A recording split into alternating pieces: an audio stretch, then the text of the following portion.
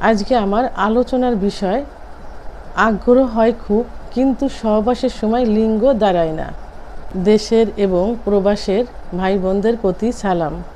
আসসালামু আলাইকুম, আমি প্রভাষক doctor Rikta Parvin, chamber Seba homeo complex and Seba digital lab, উপজেলা মডেল মসজিদের পূর্ব পাশে শিমুলিয়া, মাগুরা।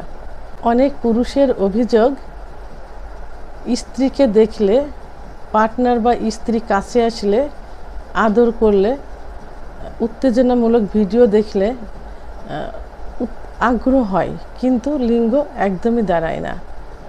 আবার দেখা যায় যে, স্ত্রী বা পার্টনার সহবাসের সময় ফোর পেলে করে, বিভিন্ন জায়গায় আদর করে, খুব ইচ্ছা হয়। মনে হয় যে এখনই যৌন মিলন করি, কিন্তু তারপরেও লিঙ্গ দাঁড়ায় না।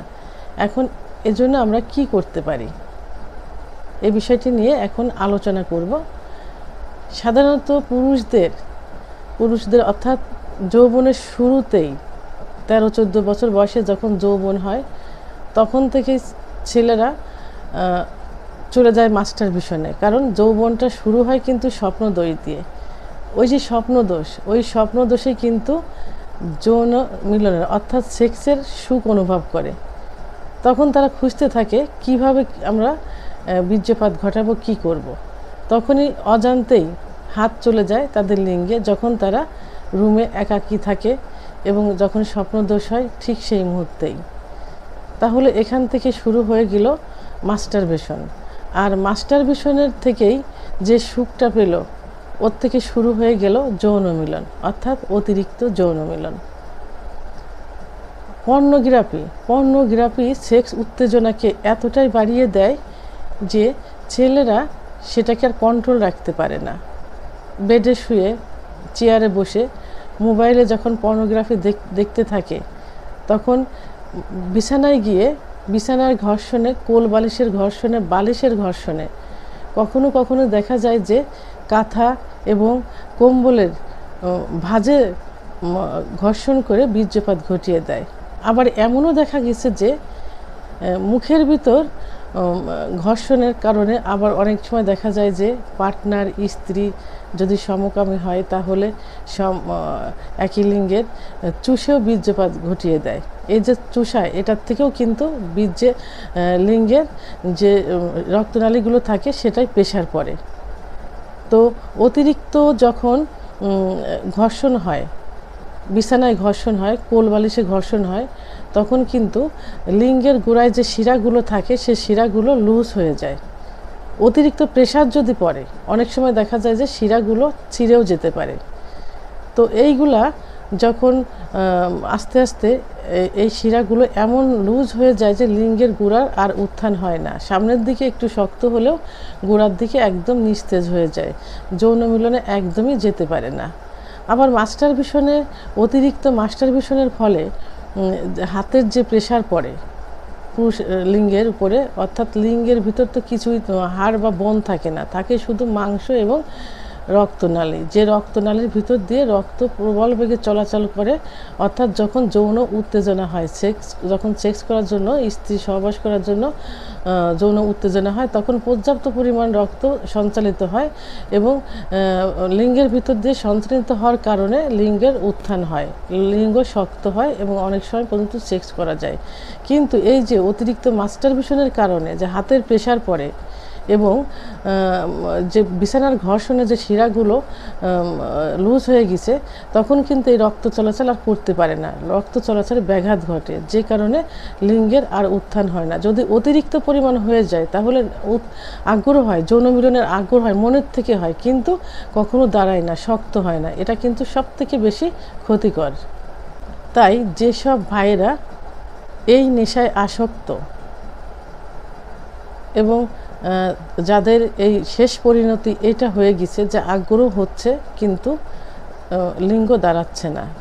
তারা অবশ্যই এই যে, মাস্টার ভীষণ অতিরিক্ত অতিরিক্ত স্বপ্নদোষ, যে স্বপ্নদোষটা হয়ে থাকে মেয়েদের নিয়ে চিন্তা ভাবনা করার কারণে। এইটা থেকে দূরে থাকতে হবে। মাস্টার ভিশন থেকে দূরে থাকতে হবে, অতিরিক্ত যৌন মিলন থেকে দূরে থাকতে হবে। আর নিকৃষ্ট যে কাজ, মুখের ভিতরে ঘর্ষণ করে চুষে যে বীর্যপাত ঘটায়, এর থেকে গহিত কাজ আর কিছুই হতে পারে না। এটার থেকে অবশ্যই দূরে সরে আসতে হবে, একদম বাদ দিতে হবে। এটা আল্লাহর কাছে তওবা করতে হবে। তওবা করে এর ফল, এর কারণে যে ক্ষতিগুলো হয়েছে সেই ক্ষতিগুলো পূরণের জন্য কিছু খাবার আছে ন্যাচারাল কিছু খাবার, সেই খাবারগুলো খেয়ে যেতে হবে। পাশাপাশি পার্শ্ব প্রতিক্রিয়ামুক্ত হোমিওপ্যাথির দুইটা ওষুধ সেবন করতে হবে। ওষুধ দুটি নিয়মিত সেবন করলে অবশ্যই ভালো ফলাফল পাওয়া যাবে এবং আগের অবস্থায় ফিরে যাওয়া সম্ভব হবে। ওষুধ দুইটা নিয়ে এখন আলোচনা করবে। এক number agnus cast agnus cast mother tincture অর্থাৎ এই ওষুধটি সেক্সুয়াল দুর্বলতা, যৌন অক্ষমতার এতটাই কাজ করে যে যেসব পুরুষেরা অতিরিক্ত যৌন মিলন করছে, যৌন অত্যাচার করছে, যার কারণে লিঙ্গ শিথিল হয়ে গেছে, একদম উত্থান হচ্ছে না লিঙ্গর গুঁড়া ঝুলে পড়ছে, চোখগুলো একেবারে কোঠারগত হয়ে গেছে, তাদের জন্য এটা সব থেকে বেশি কার্যকরী। তো এই অ্যাগনাস কাস্ট মাদার টিংসার ওষুধটি দশ ফোঁটা ঠান্ডা পানি সহ দিনে তিনবার খাবার আধা ঘণ্টা আগে অথবা আধা ঘণ্টা পরে সেবন করতে হবে। দুই নম্বর, ছাইডোনিয়া ভালগারিস।